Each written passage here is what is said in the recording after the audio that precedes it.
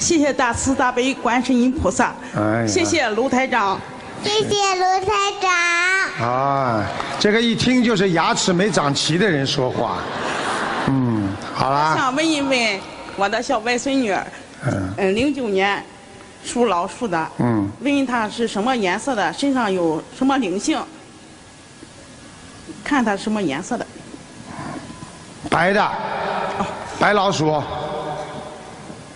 身上有灵性啊。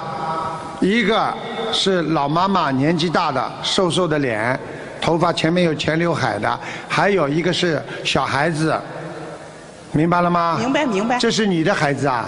不是我外我闺女的孩子。你的闺女的孩子啊？哎对嗯，我可以告诉你，这个小孩子这个脑子半边工作，还有半边不工作，智商有问题。对，很想问问台长，去送多少经，送多少张小房子？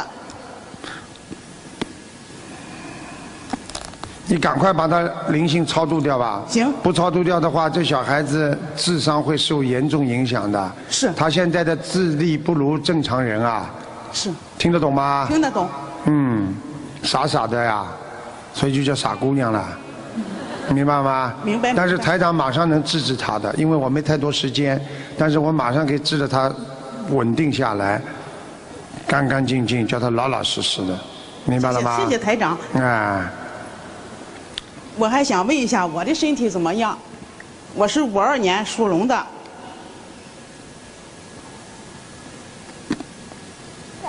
五二年属龙的是吧？对，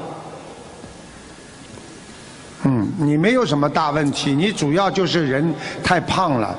因为台长现在看你这条龙啊，飞在上面飞不动，都掉下来了，因为龙的肚子都逛下来了，你的肚囊很大，你听得懂吗？听得懂。哎、你说龙这么胖，怎么怎么升啊？怎么升得上去啊？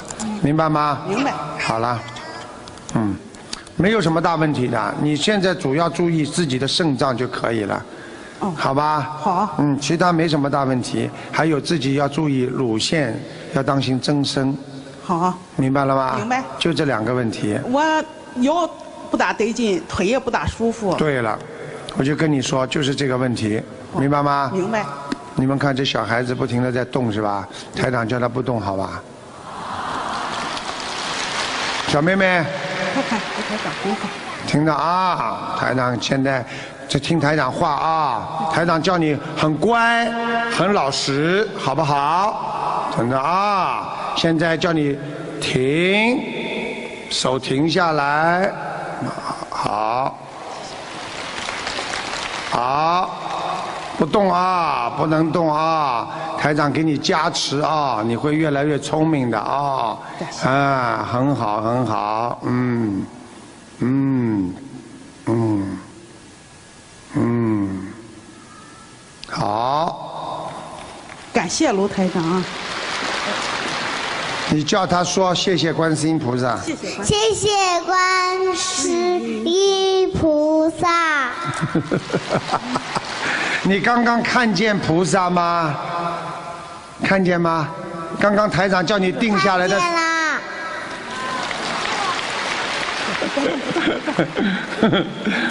我跟你们说，五岁的小孩以下眼睛都看得见很多的菩萨的，所以小孩子冲你笑过去说，哎呀，就很有喜事来了。如果小孩子冲你叫，看见你就哭，你这个人一定会倒霉。过去在皇宫时代，就是在皇帝的时代，很多人就是专门让皇上说要做一件事情，可以不可以？然后呢，就抱一个小孩子过来，这个小孩子呢还不会说话，然后皇上就逗他玩。这个人看见皇上哈哈笑了，皇上就这个事情马上去办。如果一看这小孩子哭了，皇上此事不宜呀、啊，那个时候因为他们还不认识卢台长嘛，嗯，好啦。然后我还想问你一件啊一件事儿，我去看看我家的佛台，我看看你们家里的佛台。哎，嗯，你几几年属什么？五二年属龙的，五二年属龙的是吧？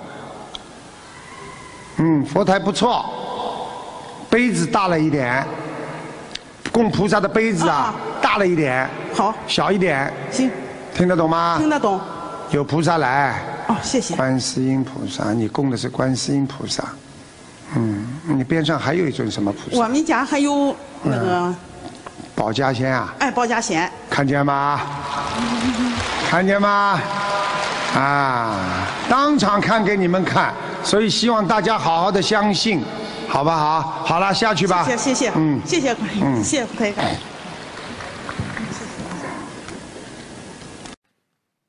感恩卢台长。